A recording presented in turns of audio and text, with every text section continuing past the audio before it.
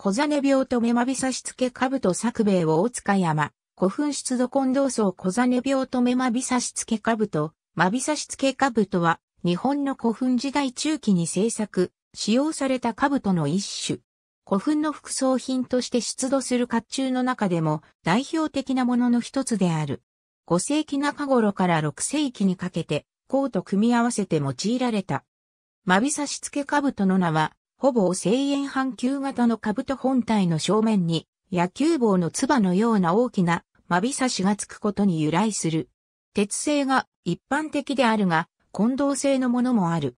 4世紀末頃に出現する昇格付け兜にやや遅れ、5世紀前半から出現し、6世紀初め頃まで存続した。鉄板同士の接続は、昇格付け兜に見られるような、鉄板に開けた新穴に皮紐を通してつなぎ合わせる皮閉じ技法が存在せず、鉄病を打つ病流技法で行われている。制作技術と構造に基づいて、大まかに下記のように分類されるが、細部の技術や構造の系譜、デザイン上の際などによって、さらに細かい分類も行われている。